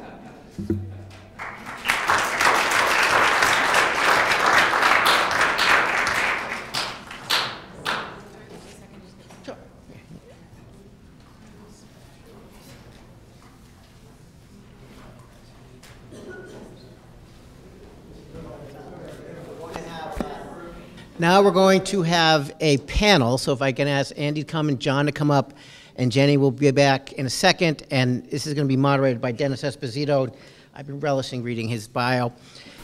Uh, Dennis is a, an experienced environmental law practitioner, legal educator, and lecturer in ocean and coastal law, land use development, hazardous waste issues, and environmental litigation. He's represented clients in both the public and private sectors, including serving as legal counsel to, for the Narragansett Bay Water Quality District Commission and Rhode Island CRMC. And this is what I wanted to add, is that was way before me, and I've been there a long time. Dennis. He was chair of the environmental practice. I couldn't. Grover said he was been here 31 years. I drafted this contract. How do you think I feel? But it was great to work with him. But he was the chair of the environmental practice group at the Providence-based law firm Adler Pollock and Sheehan for over 20 years. He most recently served as interim director of the Marine Affairs Institute and Sea Grant Legal Program at Roger Williams University School of Law, and is currently director of environmental and land use clinical externship program. He's been an adjunct faculty member at the law school since 1996. Dennis, and I will go to the day. Thank you, sir. Well, now we come to the, the, the fun part, and really the reason why we're here, and that is because of each and every one of you. Uh, we want your feedback. We want to present or make available uh, our afternoon speakers and our morning speakers, and most of them are still here. Uh, we're going to do a bit of a Q&A right now. Uh, then we're going to um, spend a few minutes on break and have some more food, as Julia likes to keep on pushing us, pushing on us. Um, and then finally, um, I'll get up and speak again just about some, uh, what we're seeing as some leading edge topics Jenny hit on them earlier. Um, There's another one out there that uh, I know Grover's very fond of called, uh, what I'm calling the uh, High Tide Line. Um, We'll find out what that is in a minute. Uh, But before we do that, um, we want to start off with questions. And I think the first question I have, um, uh, using, as Julia mentioned earlier, um, moderator's prerogative, uh, picks up where Andy left off. And that is, damned if you are, damned if you're not. If the municipalities out there and the state decides to deny, we know the consequences. If you decide to grant and get sued, you know the consequences. But a very interesting topic and a very interesting point that I don't want to lose at all is the issue of promulgating affirmative regulations in these high flood danger zones as identified by the Environmental Coastal Risk Hazard System that's being developed now. So we know where there's a high flood danger zone. It's not the entire coastline, it's certain specific areas in your town. But when they're identified, the municipal towns, cities, state government are going to have to act somehow. If those regulations can be grounded in public health and safety, as Andy counseled in his remarks, we may have a hell of a leg up in being able to defend those regulations. And I noticed, um, I stole Jenny's, one of Jenny's uh, slides, I wasn't able to put it up because I don't have that technology, but um, the Rhode Island Constitution supports that kind of regulatory approach. In fact, it says in Article 16 that talks about land use management and also talks about takings and identifies privileges to the shore that pretty much those types of regulatory actions are a valid exercise of police power and be liberally construed not to be, uh, strike that, shall be liberally construed and not to be, uh, be a public use of private property. So there basically is a constitutional support right there to couch some of these regulations in public health and safety. Now, I'm going to pose a question to the lawyers out there. Would you write something like this? Could you see this viable as, as something when your town, through use of storm tools and other scientific information that's coming out as we heard today, when your city and town uh, wants to write affirmative regulations on no build, or perhaps no rebuild after a storm, with constitutional support, can you see yourself doing that? Show of hands. How many people would, would like to see that happen? And I think you have a, a viability, a viable solution there. A lot of you folks didn't raise your hands. Why is that? Somebody, you're all lawyers. Stand up and defend yourself. Why, why did? Too broad right now, you just said. Too broad? Yeah. Okay, you have a very specific. A lot more. You've got a very specific document that's been developed by URI. We heard our speakers today basically say that if we're going to be developing regulations, make sure that they're grounded in science that's portable to allow you to, to get, get away from the APA type claim that Brian talked about. So you have a, a document there. It's been developed by URI. Let's say you have a substantial amount of uh, public um, stakeholder meetings, so there's plenty of knowledge out there. You have all your cities and towns there uh, at these meetings. You have all your constituents there at these meetings. You specifically invite the landowners that are part of that identified zone, 115 houses in my hypothetical. You then go out to rulemaking with public notice and stakeholders meetings that say, in the event of a hurricane and the land and the property is destroyed by my, more than 45%, 50%, whatever rule you want to use, you cannot, you cannot rebuild. And the reason why you cannot rebuild is because of the threat to public health and safety. Is that too broad? What do you think, Don? Well, I think uh, high flood danger zone has been tried in South Kingstown and overturned in the Annicelli case. And that goes way back, and there's a lot more information out there. South Kingstown now has a process where, okay, you can build a house, go get a special use permit. Now you come before the zoning board, and I'll just take my zoning board on Block Island, an expert comes out, they come out with all their experts, Bill Landry and all his crew comes out.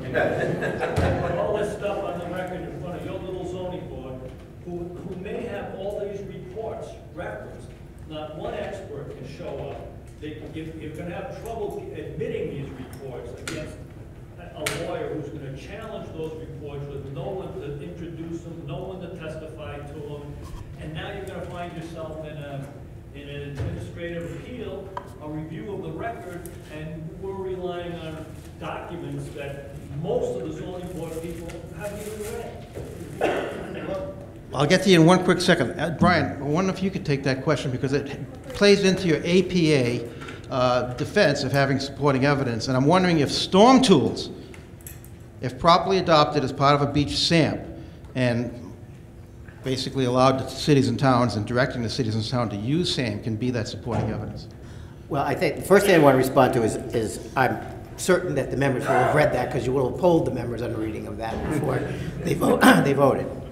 Uh, I, and I think that's, that's important to do. And I, I, I, look, I think he's right, because, and that's the reason I raised the issue, is, is you're gonna get, he said Bill Landry and his crew, and Bill's a very good lawyer, but I mean, it, it, that's the kind of guy that comes in with these, brings people from out of town that, that don't really practice here, and, you know, in Rhode Island, the saying is anyone who's more than hundred miles away is an expert. And they'll come in and they will go after these studies and, and, and go after the regulations, and I think it's a serious problem. I really do. And, and I think that's why I highlighted the point of, you know, CRMC and the DEM and the statewide agencies, we have staff.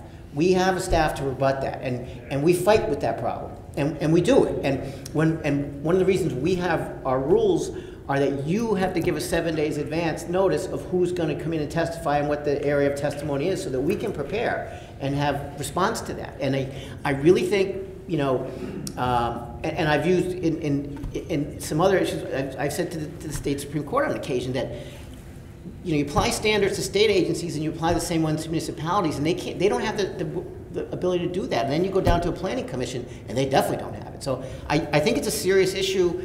It's an unlevel playing field for the municipalities, but you've just got to, you know, do the best you can, I think. But it's absolutely right, you guys, kick the can down to are gonna have to deal with it. We can't deal with it, but Brian's absolutely right, they got a process in place, you've gotta notify them their experts, they have their own experts, they have people they can call on to bring in.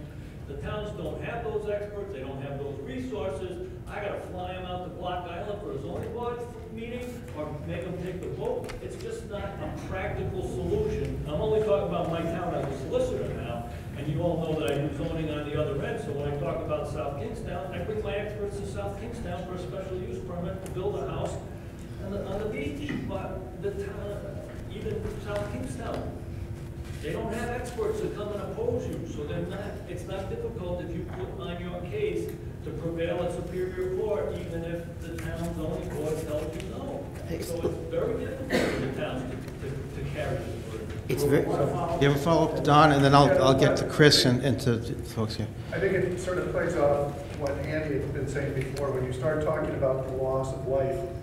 um, I know the town of Scituate went all the way up to the Mass Supreme Court on a case where they were banning development in velocity zones, or V zones. And they based that on the fact that these areas have wave action, they are very extremely hazardous areas to get in and out of during a storm event. And they don't want to be sending first responders down there to place themselves at risk, losing their lives in these areas where it is, you know, virtual certainty they'll get taken out. They went up to the Supreme Court, they defended, that they were able to withstand a takings claim on that, on that defense. I'm just wondering whether something like that in Rhode Island would survive that type of I started with, with that point, Um, but, but not to belabor it, I, I saw a couple of other hands. Of Wesley had some questions? Right here. It seems to me we have a precedence with the State Wetlands Act that's been around about 30 years. It wasn't that controversial when it first, in terms of the taking issue. And at the local level, communities have flood overlay zones, and they used to be able to consider slopes. So it seems to me with, as the modeling gets more and more accurate, that you can identify these areas subject to sea level rise or the storm surges, and that can be codified as undevelopable land, just like your wetlands or slopes. Can I respond to- Yeah, please. it- It's Brian. I I think, I, I, I I agree with that. And, and the thing about the, the the takings process is, one of the things that we did in the, in the, in the Palazzolo case, one of the issues that we had was our state Supreme Court took the position that if you purchased a piece of property with knowledge that the regulations prohibited development on that property, then per se, that prohibited a takings claim. Now, the U.S. Supreme Court disagreed with that. They said you cannot say per se it invalidates a takings claim, but it's a factor. And that actually was the, the deciding factor in the five to five court, with Justice O'Connor being the deciding vote. So I think you can do that, and it's a, and it's a process. You're going to have to weed up. I think you can have that going forward for people who acquire property with that knowledge. You're still going to have to deal with the people who own it, who have owned it in their family. And I mean, it's just going to be an attrition before you know they convey it to somebody else, and that becomes a factor. But I, I think I don't know how you have any other. You know, you got to put that stuff out there in the books, and you got to let it get challenged. But it's fact, so you have to deal with it. Chris? Uh, One of the ways I think that the the municipalities can prevail on that prohibition is under the background principles that I think uh, Andrew, or maybe even Jennifer, or all spoke about. So in the Palazzolo case, right, your public trust doctrine inured to your title before you bought it. It came from King George or someplace back then. Um, Common law prevented you from doing, the land that created a nuisance, Palazzolo, you can't build the septic systems because it's trying to beautify the, the, the saltwater pond. So, you know, as that changes, and you construct something on your land, uh, now that the sea level is rising, uh, that construction creates a nuisance, i.e., you're going to, we know that going, you're going to be putting your septic system, you're gonna uh, be flooded, inundated, you're gonna be polluting things. Maybe we're gonna have to bring in public services to rescue you. Uh, we're gonna have to uh, pay for the uh, reconstruction of the infrastructure because of your building. That could constitute a nuisance, and that, again, is something that you never had a right to do, therefore, it's not a taking. You from causing a nuisance. Albeit, maybe twenty years ago, fifty years ago, it was a nuisance, but now the sea level is rising and periodic flooding is occurring. No? You have had for a while. Thank you for your patience. You're very welcome. Um, I, I agree with Don Parker. Um, one of the real issues is, is getting the proper expert information on the record in support of a planning board's decision if they want to deny development. Um, that, that is an issue, is unless you have the resources to hire an expert or, or already have in the can information that you can just put on the record, you're, you're not gonna be able to get that expert testimony, and therefore, you don't quite meet the substantial evidence standard.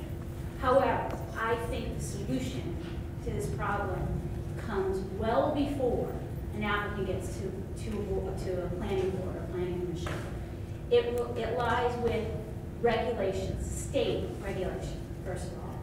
If you have the state regulations in place that are based on the science, which was wonderful to see today, and that is put into place, and the city and town can say, look to CRMC and say, your regulations dictated this, then therefore, we are only following state regulations, then you can write your own local regulations that say, we are going to be consistent with, or in some circumstances, you want to be um, more stringent than the state, where it's allowed. The second thing is zoning. We have zoning enabling that allows us to to not only overlay districts, but rezone districts, um, property, uh, in such a manner that would disallow residential development on our ocean front, okay, on our sea, on the seacoast. And if you look at 45, 24, 37 permitted uses, it already says, similar to the quote, the quote that you made, that it, it, it's some precedent there for actually prohibiting residential uses for health and safety reasons. Now, my idea is you do an overlay district along the entire coast, and um, you make residential uses non-permitted, and there it becomes a non-conforming use. And we have many, many years of history, uh, litigation on non-conforming uses that support the fact that you cannot rebuild once there's a catastrophic event. Now, we all, you just heard today, it was one of the best quotes today was, you know, these catastrophic events are now foreseeable. There- Therefore, they're no longer acts of God. That's one of the exceptions to, to Right. not being able to rebuild a non-conforming use, was, is it, it was destroyed by an act of God. We now know these are foreseeable events, therefore, we can argue that they're not an act of God. Make them all non-conforming uses, and then you have an opportunity to say, under X, Y, and Z circumstances, you are not allowed to rebuild, both under local zoning and under CMC. I'm going to ask that perhaps Brian and Andy respond to that, because I see two distinct questions. Maybe if I get Mike Rubin to, to- I know he had his hand up, so I'll call on you as well, because you're, you're always dragged into these things anyway, right? Just feel, feel free.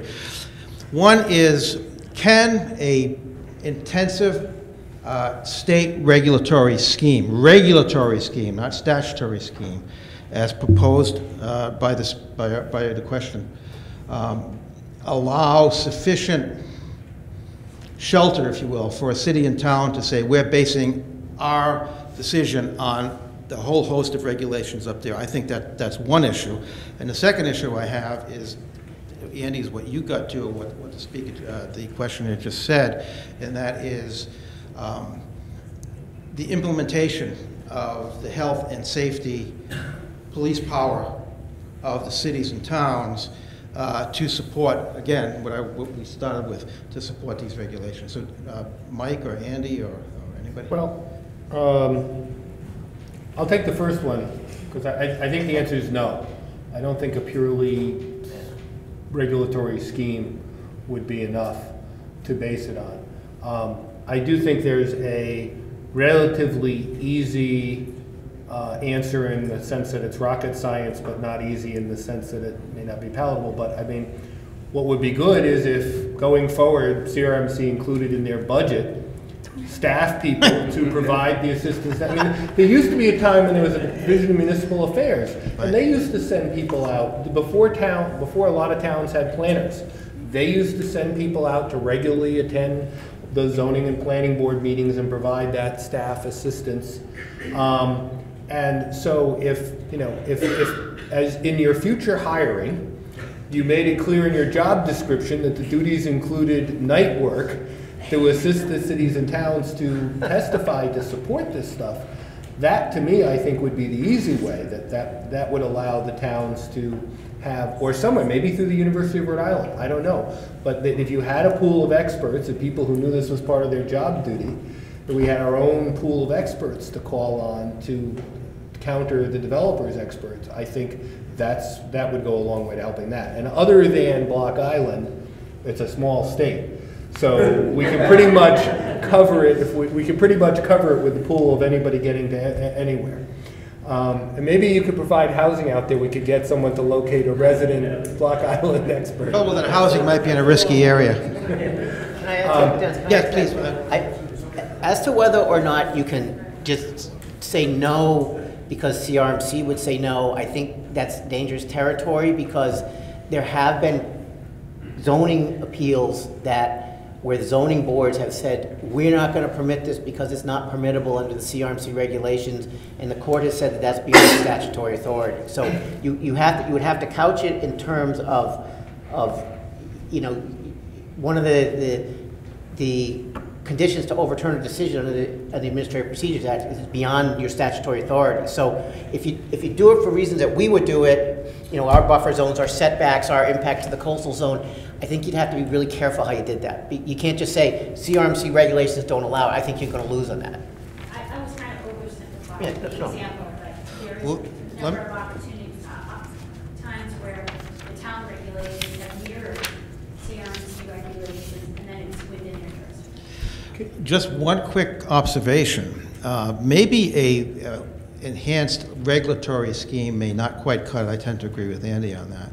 But again, not to be politically naive, because he can't be in Rhode Island, but perhaps there may be some room uh, at the legislative level to introduce some legislation that would give the appropriate shield that the towns need, that this is why we're adopting these regulations, and they're based upon the science that the legislature, through perhaps the, um, what's your committee, Chris? The, the- the, uh, Climate Change Oh, Committee? EC4? EC4, the CC4, right? EC4. Uh, Maybe some recommendations out of that group. Dennis? Yes. You you also gotta remember, all these changes are gonna go through a town council. Sure. Which is never gonna happen. We all know that. Well, that's we- that's what we asked Jenny. Nobody representing the people in the town are gonna say, oh, sorry, you can't build your house anymore. We can come up with things, but town council not gonna do it. Well, that's what you are struggling with, and that's what we're struggling with here, is, and and I think uh, Teresa and or Pam mentioned it this morning, is education is our whole essence of being, and that is educating town council members. This dialogue has to be started. We cannot go forward like Governor, was it Scott in Florida? Scott Or- or Walker, Scott Rick Walker. Scott, yeah. Yeah, uh, Scott Walker in Wisconsin. I mean, head in the sand is, is cut. Greg? Um, Just two quick things.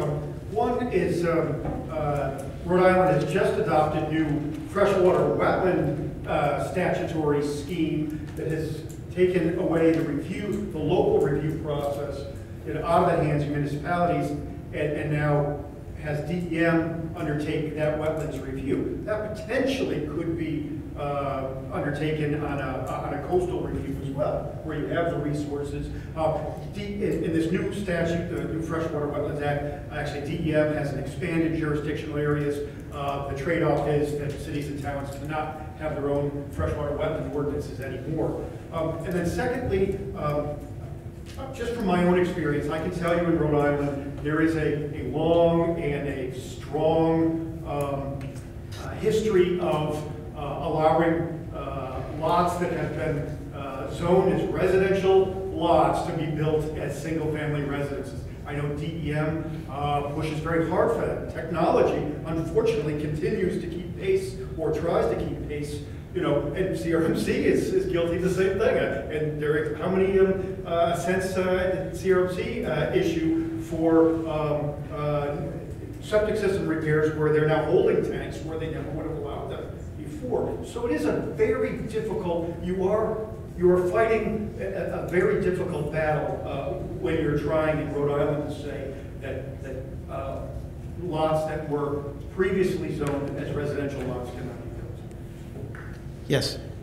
I just had a a question about, I, I like the idea about not being able to rebuild a catastrophic and unfortunately, I think that might be what it's gonna take in some of these places. You've got a really, you know, densely developed downtown.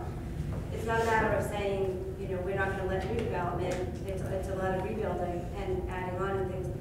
But I guess my question was, how is that gonna affect somebody getting a mortgage? If you were to put a a stipulation that they can't rebuild, is that gonna um, maybe that's a topic for another session, but I mean, I see, it- I see another level of. Panelists up there want to handle that one? Sure, I I mean, if you put a requirement that can't be rebuilt, you're not gonna get a mortgage. Right. Um, With the one exception, I don't know, you might, 99 years has a kind of magical connotation in common law that it equals fee and something. so perhaps a 99-year limit might, might provide some protection. I mean, our permits are 50 years, and they have to get renewed, so, Yeah, not for upland structures. hmm? Not for upland structures. And then, uh, just to follow up on that, how would that then relate to tolling? It seems like all permits have been tolled for the past however many years. long years. Eight years. Yeah. Some very thorny problems. Yes, sir, last question, then what I think I'd like to do, keep your question, I'm going to, I'm going to get you right now. Um, What makes sense is, we're we're generating a a lot of thought and a lot of really good questions. Uh, I'd like to, after this last question, take about a five-minute, 10-minute break, no more than that, regroup and continue. Just continue what we're doing right now. I'm the next speaker, I think I I can probably, with Julia's permission and everybody else's permission, shut up, and let's continue with our, with our questions and answers. Spend some time out there over a cup of coffee, get, get charged, get uh, really charged up a little bit with some caffeine, and come on back up. Yes, sir, last question, and then we'll reconvene in about 10 minutes. I'm from Charlestown, so I want to, want to say ditto on the political capital expenditure. We have elected planning board and town council. That's a tall order. Right. To ask them to do these types of things when they're going to face a reelection and possibly rescinding all these things. But the question I have is that if there's some infrastructure that needs to be done, and it's going to cost a lot of money, and you put it out for a bond, and you put it out for a referendum, and it gets defeated, is that any inoculation against not doing what you're supposed to do? Jenny, maybe? I- Yeah, I would, I would definitely argue that that's a great defense, right? If you tried to do something and you couldn't do it, right? Then I think the burden is on the plaintiff to point to something else that you should have done, right? Especially if it's a referendum, because then it's really not within the. I kind of disagree with that. I think, you know, if the liability is there, it's to the corporate liability. And if the taxpayers took the risk in denying the, the referendum when they voted it down, the taxpayers should bear the consequences of paying for the liability later. But then how do you argue that the city was unreasonable in not doing that if they tried to do it and it was voted down? Because I, I apply the actions of the voters to, Okay. to, to the municipality, to the corporate thing. I mean, we don't have a lot of, but suppose it's at a financial town meeting, is that any different than a referendum? If the, the voters at a financial town meeting vote it down? Good question. Well, let's hold that thought, and and please come back with questions. That's what we're going to do, I think, for the next few minutes.